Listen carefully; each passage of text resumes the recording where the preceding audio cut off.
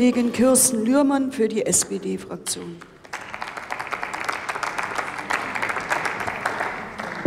Sehr verehrte Frau Präsidentin, sehr geehrte Anwesende! Ich komme mal zurück auf das Thema der heutigen Debatte, nämlich das Thema ist, dass die Bundesregierung einen Entwurf eingebracht hat für ein Gesetz zur Stärkung des Wettbewerbs im Eisenbahnrecht. Und ich habe es Ihnen mal mitgebracht. Ich habe vielleicht eine etwas andere Zählung als Sie, Frau Leidig. Hier sind es 294 Seiten plus einige Anlagen, also ein sehr gewichtiges Gesetzeswerk. Wir haben heute die erste Lesung. Bei diesem komplexen Regelwerk wird es sicher noch einige Zeit dauern, bis wir uns hier wieder treffen zur endgültigen Verabschiedung dieses Gesetzes. Wie schon vom Staatssekretär erwähnt, handelt es sich um die Umsetzung einer EU-Richtlinie.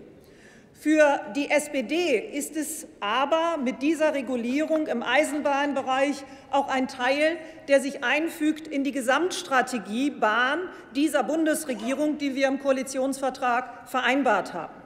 Wir wollen einen funktionierenden, leistungsfähigen und bezahlbaren Schienenverkehr. Und hierbei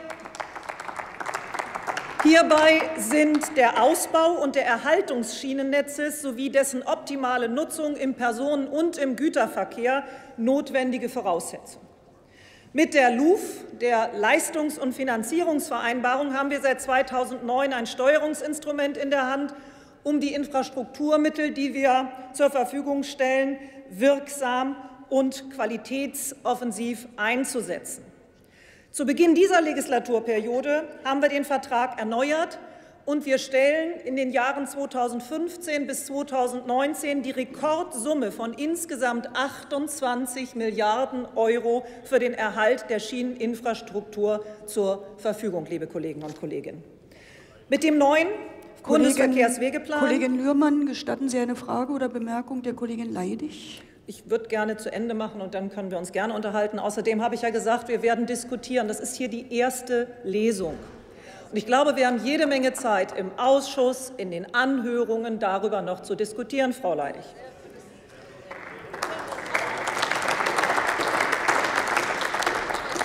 Mit dem neuen Bundesverkehrswegeplan haben wir eine Strategie für die nächsten Jahre vorgelegt, liebe Kollegen und Kolleginnen, die mit dem Prinzip Erhalt von Neubau und der Engpassbeseitigung von hochbelasteten Korridoren den Vordergrund an der richtigen Stelle gesetzt hat. In dieser Legislaturperiode haben wir zusätzlich zu den von mir eben genannten LUF-Mitteln insgesamt 4,5 Milliarden Euro für diese Bedarfsplanmaßnahmen, also die Mittel zum Neubau, zur Verfügung gestellt.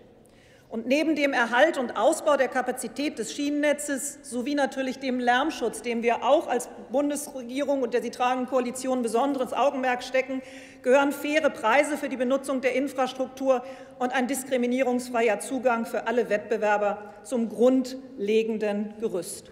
Aber die beste Infrastruktur nutzt wenig, wenn Verkehre aufgrund von Intransparenz und nicht klarer Preisgestaltung nicht aufreichend auf der Schiene landen. Beim Schienennetz haben wir nämlich die Situation im Gegensatz zum Personenverkehr und Güterverkehr, dass der DB-Konzern über ein Monopol verfügt. Und in einem Monopol muss der Staat die Möglichkeit haben, Renditen zu begrenzen. Und gerade weil es ein Monopol ist, müssen die zugrunde liegenden Preise zur Nutzung der Infrastruktur auch transparent sein. Es ist schon etwas seltsam, wenn sich Eisenbahnverkehrsunternehmen beschweren, dass sie bei einem Halt an einem Bahnhof zwar ein Entgelt bezahlen müssen, es ihnen aber nicht völlig klar ist, für was sie eigentlich bezahlen und dass sie gegebenenfalls auch für eine Ausstattung zahlen müssen, die entweder gar nicht vorhanden ist oder die ihre Kunden nicht nutzen können.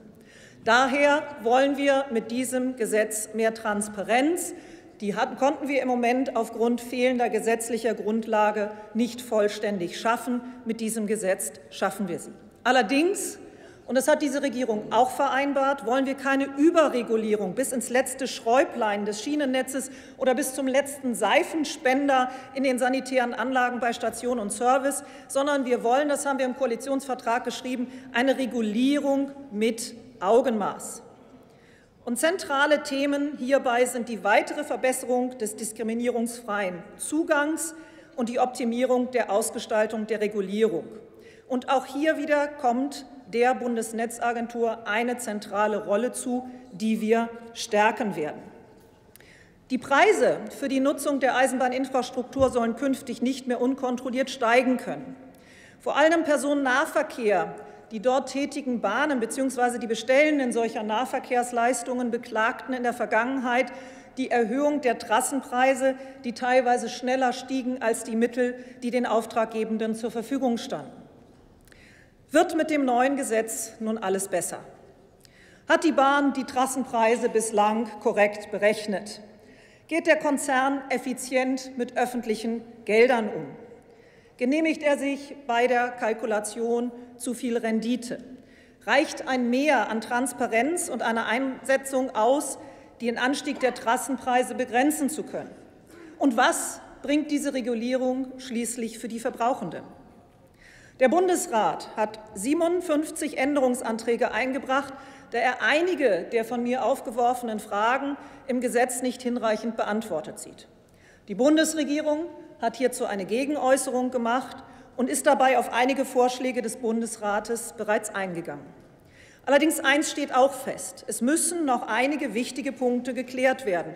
So die Frage, wie die Trassenpreise im Nahverkehr begrenzt werden. Hier gibt es noch unterschiedliche Auslegungen zwischen Bund und Ländern über den Inhalt der schon gestern hier debattierten Vereinbarung zu den Regionalisierungsmitteln. Wer zahlt das Defizit, wenn die nachgewiesenen notwendigen Steigerungen der Trassenpreise die dafür zur Verfügung stehenden Regionalisierungsmittel eines Bundeslandes übersteigen?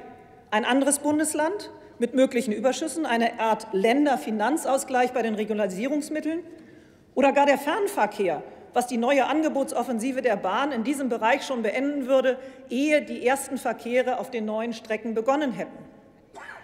Hier müssen wir im laufenden parlamentarischen Verfahren antworten und sinnvolle Regeln finden, auch für das Thema Zugang zu Serviceeinrichtungen. Abschließend stelle ich fest, wir sind mit dem Gesetzentwurf auf einem guten Weg. Wo Wettbewerb funktionieren soll, benötigen wir Regeln. Und dies umso mehr, wenn es sich, wie bei der Eisenbahninfrastruktur, um ein Monopol handelt. Der Gesetzentwurf verfügt hier über ein interessantes Instrumentenmix, um Anreiz, Transparenz und Effizienz in das deutsche Schienennetz zu bringen. Und daher freue ich mich auf spannende Beratungen. Herzlichen Dank.